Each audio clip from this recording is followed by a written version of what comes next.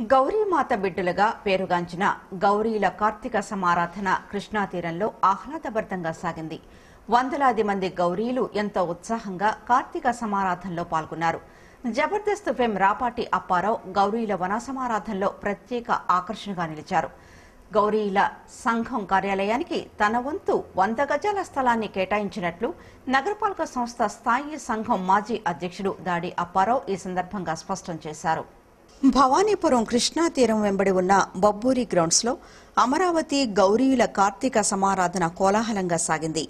విజయవాడ నుంచే కాక జిల్లా వ్యాప్తంగా పలు గ్రామాల నుంచి గౌరీలు పెద్ద సంఖ్యలో తరలివచ్చి కార్తీక సమారాధనలో ఉత్సాహంగా పాల్గొన్నారు. జబర్దస్త్ ఫేమ్ రాపాటి అప్పారావు గౌరీల వనసమారాధనలో పాల్గొని సందడి చేశారు. ఈ సందర్భంగా అప్పారావును సంఘం పెద్దలు దుస్సాలువాతో పుష్పమాలలతో ఘనంగా సత్కరించారు. తనకు జరిగిన సత్కారానికి ఉచిత రీతిన కృతజ్ఞతలు తెలియజేస్తూ అప్పారావు ప్రసంగించారు. అందరి ఆధారాభిమానాలను వల్లనే తాను జబర్దస్త్లో మంచి పేరు తెచ్చుకోగలిగానన్నారు. సినీ టీవీ రంగాలకు సంబంధించి ఆసక్తి ఉన్న గౌరీలకు తన వంతు సహకారం అందిస్తానని ఆయన స్పష్టం చేశారు. ఈ సందర్భంగా హాస్యోక్తులతో అప్పారావు ఆహుతులను నవ్వించారు. ఈ రోజున గౌరీ జాతి ముద్దుబిడ్డలందరూ కూడా విజయనగరం విజయవాడ నగరంలో ఈ పున్నమి ఘాటు పరిసర ప్రాంతాల్లో గౌరీ కులస్తులందరినీ ఒక తాటి మీద తీసుకొచ్చి వాళ్ళందరికీ వనసమారాధన భోజనాలకి పిలిచారు. వారితో పాటు నన్ను కూడా ప్రత్యేకించి ఒక గౌరజాతి ముద్దుబిడ్డగా మరి హైదరాబాద్ నుంచి నన్ను జబర్దస్త్ కళాకారుడిగా గుర్తించి పిలిచినందుకు ముఖ్యంగా దాడప్పారా గారికి అబ్బాయి బుద్ధ దివాకర్ గారికి బుద్ధ భాస్కర్ గారికి దాడి జగన్ గారికి దాడి మురళీ గారికి కాళ్ళ మహేష్కి అందరికీ ధన్యవాదాలు తెలియజేసుకున్నాను వనసమారాధన వన సమారాధన అంటే అందరూ ఒక కలయిక ఒక ఆత్మీయ కలయిక ఒక అభిమానపు కలయిక.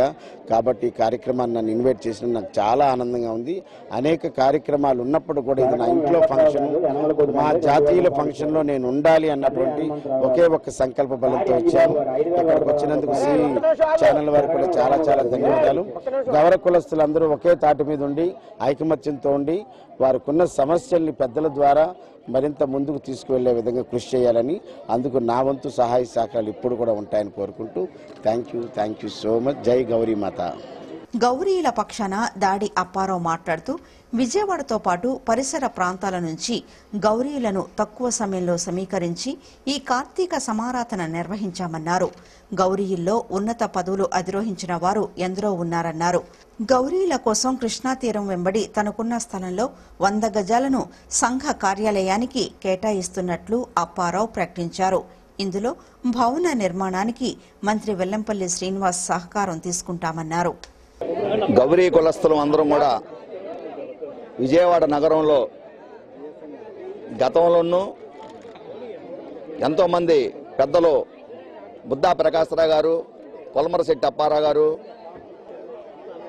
ఎంతోమంది ఈ విజయవాడ నగరంలో ఉండి ఎన్నో కార్యక్రమాలు నిర్వహించేవారు. చాలామంది కౌన్సిలర్లు చేశారు కార్పొరేటర్లు చేశాం స్టాండింగ్ కమిటీ చైర్మన్ చేశాం. ఈనాడు విజయవాడ నగరంలో ఒక ఉన్నతమైన స్థాయిలోనూ దాదాపు నాలుగు వందల కుటుంబాలు యనమల కుదురు దగ్గర నుండి భవానీపురం నుంచి ఇబ్రాహీంపట్నం దగ్గర నుంచి కనకదుర్గమ్మ వారి దగ్గర నుంచి కేఎల్ రావు నగర్ నుంచి పాలపేటరీ దగ్గర నుంచి మల్లికార్జునపేటలో ఉన్నటువంటి కొన్ని కుటుంబాలు కొన్ని అక్కడ ఇక్కడ వెళ్ళిపోయారు కానీ వాళ్ళందరూ కూడా ఇచ్చేసుకొని మేము థర్టీ పర్సెంట్ అంటే ముప్పై పర్సెంట్ సక్సెస్ తమ భూములను రెవెన్యూ అధికారులు అన్యాయంగా స్వాధీనం చేసుకున్నారని అంబాపురం గ్రామానికి చెందిన పలువురు రైతులు మీడియా ముందు వాపోయారు. తమ సమస్యను జిల్లా కలెక్టర్ దృష్టికి తీసుకెళ్ళినా ఫలితం శూన్యమని ముఖ్యమంత్రి జగన్ పరిష్కరించని పక్షంలో చావే శరణ్యమంటూ పేర్కొన్నారు. కృష్ణా జిల్లా గన్నవరం నియోజకవర్గ పరిధిలోని అంబాపురం గ్రామంలో ఎస్సీ ఎస్టీ బీసీ చిన్న సన్నకారు రైతుల భూముల్లో రెవెన్యూ అధికారులు ప్రభుత్వ స్థలం అని బోర్డులు పెట్టి స్వాధీనం చేసుకోవడం దారుణమని ఇందుకు స్థానిక వైకాపా నాయకులు సహకరించారంటూ రైతులు ఆరోపించారు. విజయవాడ ప్రెస్ క్లబ్లో అంబాపురం రైతులు మీడియాతో మాట్లాడుతూ పంతొమ్మిది వందల తొంభై రెండులో అంబాపురానికి చెందిన అర్హులైన ఎస్సీ ఎస్టీ బీసీలకు సున్నా పాయింట్ రెండు ఐదు సెంట్ల చొప్పున నలభై ఎనిమిది మందికి పదకొండు పాయింట్ ఆరు మూడు సెంట్లు భూమికి పట్టాలు మరియు పట్టాదారు పాసు పుస్తకాలు జారీ చేశారన్నారు. అప్పటి నుండి ఆ భూమిని సాగు చేసుకుంటూ భూమికి శిస్తు చెల్లిస్తూ జీవనోపాధి పొందుతున్నామన్నారు. గత ప్రభుత్వాలు అధికారులు మారినా ఎప్పుడూ వ్యవసాయ భూమి జోలికి రాలేదన్నారు. వైకాపా ప్రభుత్వం పేద బడుగు బలహీన వర్గాల భూములను ఇళ్ళ స్థలాల పేరిట పంపిణీ చేయాలని రెవెన్యూ అధికారులు ఎటువంటి నోటీసులు ఇవ్వకుండా తమకు ఇచ్చిన భూముల్లో ప్రభుత్వ స్థలం అని బోర్డులు పెట్టారని ఆవేదన వ్యక్తం చేశారు. ముఖ్యమంత్రి తమ భూములను తమకు తిరిగి ఇప్పించి న్యాయం చేయాలని కోరారు. గన్నవరం నియోజకవర్గం విజయవాడ రోడ్ల మండలం అంబాపురం గ్రామంలోని ఎస్సీ ఎస్టీ బీసీ కులాలకు చెందిన వాళ్ళం గత అంత క్రితం ఇరవై ఏడు సంవత్సరాల క్రితం ప్రభుత్వం వారు మాకు పదిహేను సెంట్ల కాడికి భూమి కేటాయించి పంట భూమిగా ఇచ్చారు. దాన్ని పండించుకుంటూ ఈ రోజు వరకు మేము మా బిడ్డలో జీవనం సాగిస్తున్నాం. పదిహేను రోజుల క్రితం ఎంఆర్ఓ గారు వచ్చి ఆ పొలంలో బోర్డులు ఏర్పాటు చేసి ఉన్నారు. దీనిలో ఎవరైనా ఈ బోర్డుని అతిక్రమించి దానిలోకి వెళ్తే మట్టుకి శిక్షార్హులై మాకు బోర్డు పెట్టి ఉన్నారు. దీని గురించి మేము ఎంక్వైరీ చేసినా ఇక్కడ స్థానిక నాయకులు వైసీపీ కార్యకర్తలు కొంతమంది దాన్ని ప్రోద్బలంతో దీన్ని తీసుకుంటున్నారని మేము కనుగొన్నాం. అది లేకపోతే మా జీవితాలు చిన్నాభిన్నం అయిపోయేటట్టు ఉంది. అదే ఆధారపడి ఇప్పుడు పెద్ద వయసులో అయిపోయాం. పనిచేసే స్థితిలో లేకుండా ఉన్నాం మేము. గౌరవనీయులైన ఆంధ్రప్రదేశ్ రాష్ట్ర రాష్ట్ర ముఖ్యమంత్రి వైఎస్ జగన్మోహన్ రెడ్డి గారికి నా పాదావి వందనాలు ఏంటంటే గత ఇరవై ఎనిమిది సంవత్సరాల్లో మా ఎస్టీ బీసీ మైనార్టీ వారికి అంబాపురంలో సీలింగ్ పొలం ఇచ్చినారు. దాని నిమిత్తం ఇప్పుడు వైఎస్ఆర్ పార్టీ వాళ్ళు దాన్ని కుట్రబన్ని నివాస స్థలానికి అది చూపించి లాక్కోవటానికి ప్రయత్నం చేశారు ప్రభుత్వం వారు. ఎంఆర్ఓ కూడా మమ్మల్ని మా గురించి స్పందించలేదు. సబ్ కలెక్టర్ గారు కూడా స్పందించలేదు. కలెక్టర్ గారు కూడా స్పందించలేదు. మిమ్మల్ని గెలిపించినందుకు కావాలి జగన్ రావాలి జగన్ అని నినాదం చేశాం. నువ్వు ఉన్నావు నువ్వు చేస్తావు అన్నావు.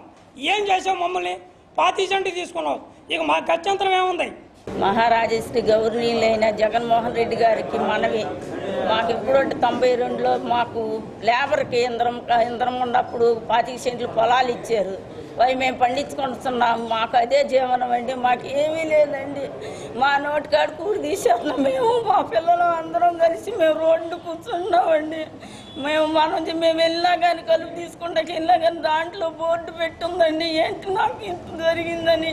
మేము మనం చేసుకుంటాకు వచ్చామండి. అది మీకు మేము ఓటు వేసి గెలిపించినందుకు మాకు ఇది మేము శిక్ష పడాలనుకుందని తండ్రి అయినా కానీ మేము ఎంతో ఇంటికి వచ్చి ఏడ్చుకుంటా తల్లిని పిల్లలు అన్నం కూడా వండుకోకుండా అదే ఆలోచనతో ఉన్నామండి మేము.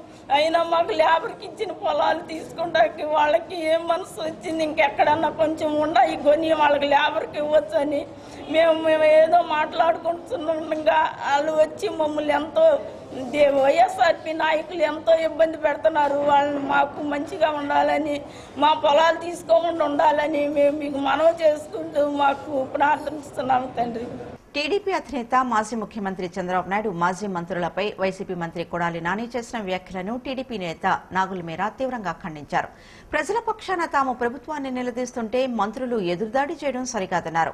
వైసీపీ నేతలు భాష మార్చుకుని ప్రతిపక్షం పట్ల సభ్యతగా వ్యవహరించాలని ఆయన సూచించారు. కేసినేని భవనంలో ఏర్పాటు చేసిన విలేకరుల సమావేశంలో టీడీపీ నేత నాగుల మీరా మాట్లాడుతూ మంత్రి కొడాలి నాని మాజీ ముఖ్యమంత్రి చంద్రబాబు నాయుడుపై మాజీ మంత్రులపైన చేసిన వ్యాఖ్యల్ని తీవ్రంగా ఖండిస్తున్నామన్నారు. కొడాలి నాని ఆరు నెలల మంత్రి పదవి మీకు పురిటి వాసన పోలేదని ఆరోపించారు. బడుగు బలహీన వర్గాల నాయకుడైన యనమల రామకృష్ణుడిపై బ్రోకర్ అనే మాట సరికాదని ఇటువంటి భాషను మాట్లాడటం మార్చుకోవాలని ఆయన సూచించారు. యనమలపై చేసిన వ్యాఖ్యల్ని రాష్ట్రంలోని బీసీ సంఘాలంతా ఖండిస్తున్నామని స్పష్టం చేశారు. అహంకార పూరిత ధోరణిలో వైసీపీ నాయకులు మాట్లాడుతున్నారని మండిపడ్డారు. ఆరు సంవత్సరాల మైనార్టీ బాలికపై అత్యాచారం జరిగితే వైసీపీ మంత్రులు ఎందుకు మాట్లాడలేదని ప్రశ్నించారు. టీడీపీ ఒక బలమైన పార్టీ అని డెబ్బై లక్షల కార్యకర్తలున్న పార్టీ టీడీపీ అని అన్నారు. ప్రజా సమస్యల్ని ప్రతిపక్ష పార్టీ ఎత్తిచూపాలని పేర్కొన్నారు. రాజకీయ వ్యవస్థలో వ్యక్తిగత వ్యాఖ్యలు దూషణలు చేయకూడదని పేర్కొన్నారు. గత చరిత్ర చూసుకుంటే అధికార ప్రతిపక్ష పార్టీల నేతలు హుందాగా ఉండేవారని అన్నారు. చంద్రబాబు మాజీ మంత్రులు దేవినేని ఉమా యనమలకు బేషరతుగా క్షమాపణ చెప్పాలని ఆయన డిమాండ్ చేశారు. మంత్రి కొడాల నాని గారు గౌరవ తెలుగుదేశం పార్టీ అధ్యక్షుడు నారా చంద్రబాబు నాయుడు గారి పైన మాజీ మంత్రివర్యులు యనమల రామకృష్ణుడు గారి పైన దేవినేని ఉమా గారి పైన చేసినటువంటి అనుచిత వ్యాఖ్యలను తీవ్రంగా ఖండిస్తా ఉన్నాం. కొడాల నాని మంత్రి అయి ఇంకా పురిటి వాసన పోలా. యనమల రామకృష్ణుడు గారు ఆరుసార్లు ఎమ్మెల్యే. పదహారేళ్ళు మంత్రి ఐదేళ్ళ స్పీకర్ ఈ రాష్ట్రంలో బలహీన వర్గాల నాయకుడు. ఒక బీసీ ముఖ్య నాయకుడి పైన మీరు బ్రోకరు అని అంటాం. ఈ రాష్ట్రంలో ఉన్నటువంటి యాభై శాతం పైగా ఉన్నటువంటి బీసీల హృదయాలను గాయపరిచావు. దీన్ని మీరు బేషరతుగా క్షమాపణ చెప్పాలని డిమాండ్ చేస్తా ఉన్నాం. రాష్ట్ర వ్యాప్తంగా ఉన్నటువంటి బీసీ సంఘాలు ఏకతాటిపైకి వచ్చి ముక్త ఖండంతో ఖండిస్తూ ఉన్నారు. అంటే తెలుగుదేశం పార్టీలో ఉన్నటువంటి బ్రోకర్లు అయితే అంటే సహజంగా పచ్చకామర్లోడికి లోకమంతా పచ్చగా ఉంటుంది. బ్రోకర్లకు అందరూ బ్రోకర్లుగా కనపడతారు. లుచ్చేలకు అందరూ లుచ్చేల్లా కనపడతారు. తెలుగుదేశం పార్టీ స్వర్గీయ ఎన్టీ రామారావు గారు స్థాపించినటువంటి పార్టీ. సభ్యత సంస్కారం ఉన్నటువంటి పార్టీ మీలాగా మురికి భాష మాట్లాడేటువంటి తత్వం చంద్రబాబు నాయుడు గారు మాకు నేర్పించాల. హెచ్ఆర్ల వృత్తిపరమైన అంశాలను మెరుగుపరిచేందుకు అమరావతి హెచ్ఆర్ చాప్టర్ చేస్తున్న కృషి అభినందనీయమని KL university corporator strategy director doctor Rajasekhar వారి సేవలను ప్రశంసించారు. మానవ సంబంధాలతో పాటు ఆధునికంగా వస్తున్న మార్పులపై చర్చించేందుకు అమరావతి హెచ్ఆర్ చాప్టర్ సదస్సు ఎంతో ఉపయోగపడుతుందని తెలిపారు. బంద్ రోడ్డులోని ఓ ప్రైవేటు హోటల్లో అమరావతి హెచ్ఆర్ చాప్టర్ ఆధ్వర్యంలో హెచ్ఆర్ కాంక్లేవ్ మూడవ వార్షికోత్సవం ఘనంగా నిర్వహించారు. ఈ కార్యక్రమానికి ముఖ్య అతిథిగా కేఎల్ విశ్వవిద్యాలయం corporative strategy director doctor K Rajasekhar హాజరయ్యారు. ఈ సందర్భంగా ఆయన మాట్లాడుతూ అమరావతి హెచ్ఆర్ చాప్టర్ల సదస్సు హెచ్ఆర్ల వృత్తిపరమైన అంశాలను చర్చించేందుకు ఎంతో ఉపయోగపడుతుందన్నారు. మిషన్ లెర్నింగ్ ఉపయోగించుకునే చాలామంది దాని బలాలు మరియు దాని బలహీనతలను తప్పుగా అర్థం చేసుకుంటున్నారని అన్నారు. ప్రస్తుతం మరింత టెక్నాలజీని నేర్చుకోవాలనే విద్యార్థులు వాటి యొక్క వైఫల్యాల గురించి తెలుసుకోవాల్సిన అవసరం ప్రతి ఒక్కరికి ఉందని తెలిపారు. రోబోట్లు ఖచ్చితంగా త్వరలో ఉద్యోగాలు తీసుకోబోతున్నాయని స్పష్టం చేశారు. కృత్రిమ మేధస్సు తెలివైన నిర్ణయాలు తీసుకోవడానికి ఉపయోగపడుతుందని పేర్కొన్నారు. ప్రతి నెల ఇలాంటి సదస్సులు నిర్వహిస్తున్నామని ఆయన తెలిపారు. అనంతరం Amaravati HR chapter founder Raviteja మాట్లాడుతూ అమరావతి హెచ్ఆర్ చాప్టర్ మూడవ వార్షికోత్సవం నిర్వహించడం చాలా సంతోషంగా ఉందన్నారు. హెచ్ఆర్లో మిషన్ లెర్నింగ్ పై అవగాహన సదస్సు నిర్వహిస్తున్నామన్నారు. ప్రతి నెలలో ఇలాంటి సదస్సులు నిర్వహించి ఉద్యోగులకు విద్యార్థులకు అందరికీ అవగాహన కల్పిస్తున్నామని ఆయన పేర్కొన్నారు. ఇక్కడ ఉన్నటువంటి అమరావతి చుట్టుపక్కల ఉన్నటువంటి అమరావతి హెచ్ఆర్ చాప్టర్ అనేటువంటిది గత మూడు సంవత్సరాలుగా అత్యున్నతమైనటువంటి విలువలతోటి ఇక్కడ ఉన్నటువంటి ప్రొఫెషనల్స్లో విజ్ఞానాన్ని అభివృద్ధి చేయడానికి వృత్తిపరమైనటువంటి పరస్పర విషయాలను తెలియజేయడానికి ఒకరికొకరు తెలుసుకోవడానికి ఒకరికొకరు పరస్పర సహకారం అందించుకోవడానికి ఈ వృత్తిలో జరుగుతున్నటువంటి ఛాలెంజెస్ ఏవేంటి కరెంట్ ప్రాక్టీసెస్ ఏవేంటి అధునాతనంగా ఏ విధమైనటువంటి పద్ధతులు అవలంబించాల్సి వస్తుంది. ఈరోజు ప్రపంచం మొత్తానికి కూడా ఎదురుగా నిలబడ్డటువంటి ప్రధానమైన సమస్యలు ఏంటి? ఆర్టిఫిషియల్ ఇంటెలిజెన్స్ మెషిన్ లెర్నింగ్ అనేటువంటి ఈ రెండు ప్రధానమైన సమస్యలు అసలు ఉద్యోగ అవకాశాలు భవి భావితరాల వాళ్ళకి ఉండబోతున్నాయా లేవా? రోబోటిక్స్ అనేటువంటి మిషన్లు వచ్చి మానవులకు కావలసినటువంటి ఉద్యోగ అవకాశాలను యువతకి ఒక పెద్ద థ్రెట్ ఒక బెడదలాగా తయారైందా? ఈ విషయాల మీద ప్రతి హెచ్ఆర్ ప్రొఫెషనల్ ఈరోజు ప్రతిరోజు షార్ప్నెస్ పదునైనటువంటి అవగాహన కలిగిన విషయాలను ఎప్పటికప్పుడు పదును చేసుకుంటూ తెలుసుకుంటూ సంస్థ తమ తమ సంస్థల్లో ఉన్న సమస్యల్ని పరిష్కరించుకోవడానికి ఒకళ్ళ ఒకరి నుంచి ఒకళ్ళ నాలెడ్జ్ని అభివృద్ధి చేసుకోవడానికి ప్రతి నెల వీళ్ళందరూ కూడా సమా ఈ రోజున ఘనంగా మూడో యానివర్సరీ జరుపుకుంటున్నాము.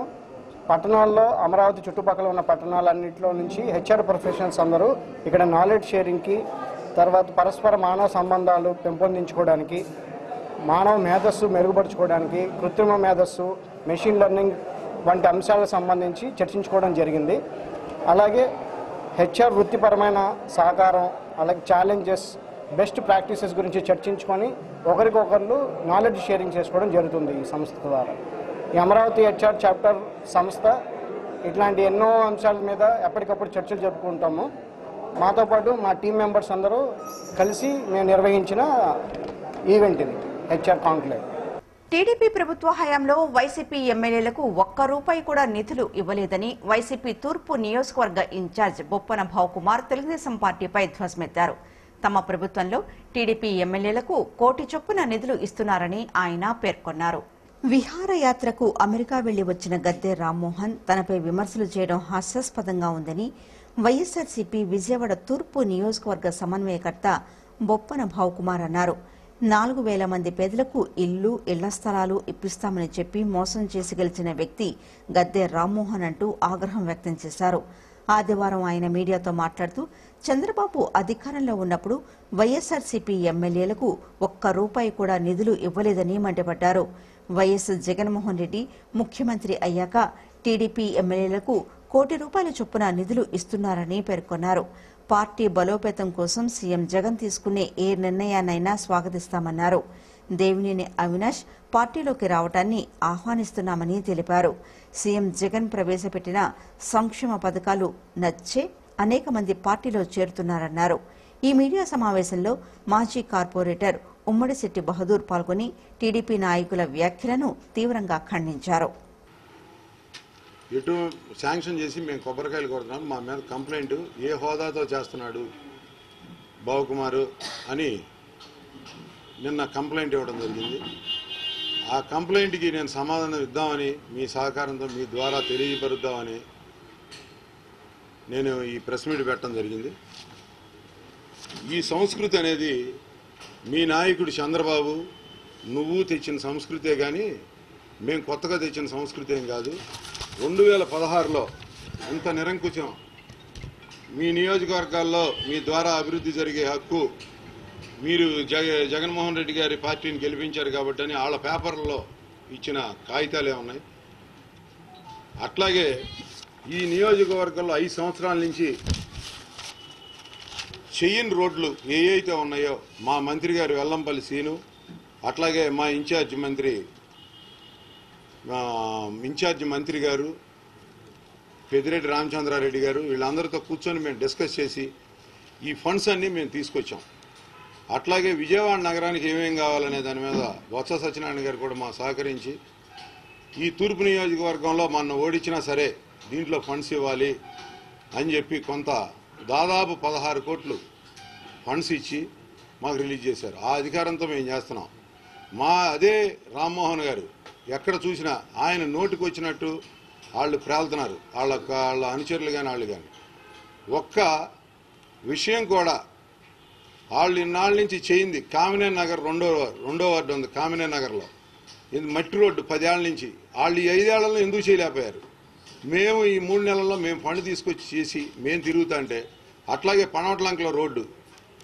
అట్లాగే పద్నాలుగో డివిజన్లో ఆరు రోడ్లు ఉన్నాయి VMR road Sai cut pieces road అవన్నీ ఆరు రోడ్లు సర్వనాశనం చేసి అక్కడ పెట్టి ముందు చేయాల్సిన పని వెనక వెనక చేయాల్సిన పని ముందు చేస్తూ వాళ్ళు దుర్మార్గంగా ప్రజల్ని పైగా ఇంకోటి ఏమని అడిగా అంటే ఆయన ఓడిపోయినా నాకు ప్రజలు మొత్తం ఓడిపోయి ప్రజలు తిరస్కరించినా నువ్వు ఎట్లా వస్తున్నావు? అని ఒక ఒక క్వశ్చన్ కూడా దాంట్లో పెట్టాడు. విజయవాడ నగరపాలక సంస్థ కమిషనర్ గారికి ఊడిపోయినటువంటి బావకుమార్ గారు కొబ్బరికాయలు కొడుతున్నారు. ప్రోటోకాల్ కాదని చెప్పేసి ఆయన అభ్యర్థించాడు. ఆంధ్రప్రదేశ్ రాష్ట్రంలో కానీ ఈ నగరపాలక సంస్థలో కానీ ఈ సాంప్రదాయానికి తెరదీసినటువంటి వ్యక్తి ఎవరైనా ఉన్నారంటే ఆంధ్రప్రదేశ్ రాష్ట్రంలో మొట్టమొదటి పెట్టి గద్దె గద్దె రామ్మోహన్ రావు. ఈ విషయం ప్రజలు ప్రజాప్రతినిధులు పత్రికాముఖంగా మీడియా మిత్రులు ఎవరైతే ఉన్నారో అందరికీ తెలిసిన విషయమే. ప్రత్యక్షంగా ఈ రోజున ఆ మాట అనడానికి అనర్హత గల వ్యక్తి గద్దె రామ్మోహన్ రావు గారు. ప్రజాప్రతినిధులు ప్రజాస్వామ్యబద్ధంగా ఎన్నిక కాబడితే కార్పొరేటర్లను పక్కన పెట్టి డివిజన్ అధ్యక్షుల చేత కొబ్బరికాయలు గుట్టించినటువంటి ఘనమైన వ్యక్తి సంస్కృతి గల వ్యక్తి రామ్మోహన్ రావు కాదా అని చెప్పేసి ప్రజలకు తెలుసు. బాలల హక్కులపై ప్రజల్లో చైతన్యం కలిగించేందుకు child rights forum child line సంస్థ శ్రీకారం చుట్టింది. బాలల హక్కుల పరిరక్షణలో ప్రతి ఒక్కరూ భాగస్వాములు కావాలని చైల్డ్ వెల్ఫేర్ కమిటీ కృష్ణా జిల్లా చైర్మన్ బీవీఎస్ కుమార్ పిలుపునిచ్చారు. బాలల హక్కుల వారోత్సవాలలో భాగంగా child rights forum child line Vijayawada ఆధ్వర్యంలో అవగాహన కార్యక్రమం చేపట్టారు. ఆదివారం పండిట్ నెహ్రూ బస్టాండ్లో బాలల హక్కులపై అవగాహన కల్పించి స్థానిక ఉద్యోగులను చైతన్యపరిచారు. ఈ కార్యక్రమంలో RTC assistant traffic manager Bellam Rammohan Rao Krishnalanka SI Prakash పాల్గొని బాలల హక్కుల పరిరక్షణకు సంతకాలు చేసి తమ మద్దతు తెలిపారు. అనంతరం వారు మాట్లాడుతూ పిల్లలు తప్పిపోయి ఎక్కువగా బస్టాండ్ ప్రాంతాలలో ఉంటారని దీనిపై ఇక్కడి ఉద్యోగులకు ప్రయాణికులకు అవగాహన కల్పిస్తున్నామన్నారు. బాలల హక్కుల పరిరక్షణకు ప్రతి ఒక్కరూ కృషి చేయాలని వారు కోరారు.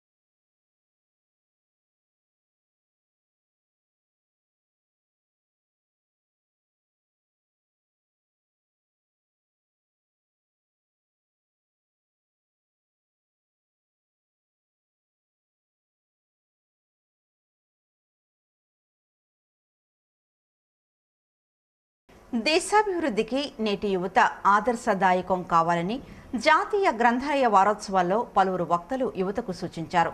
సమాజ శ్రేయస్సుకు యువత బాధ్యత ఎంతో ఉందని ఆ దిశగా ప్రతి ఒక్కరూ చర్యలు తీసుకోవాలని వారు కోరారు. విజయవాడ మహాత్మా గాంధీ రోడ్డులోని కృష్ణా జిల్లా గ్రంథాలయ సంస్థ ఠాగూర్ స్మారక గ్రంథాలయంలో యాభై రెండవ జాతీయ గ్రంథాలయ వారోత్సవాలను ఆదివారం ఘనంగా నిర్వహించారు. ఈ వారోత్సవాల్లో సమాజ శ్రేయస్సుకు యువత బాధ్యత అనే అంశంపై సదస్సు జరిపారు. ఈ సదస్సులో animal husbandry deputy director K. Srinivasulu motivational speaker Kota Harikrishna పాల్గొని ప్రసంగించారు.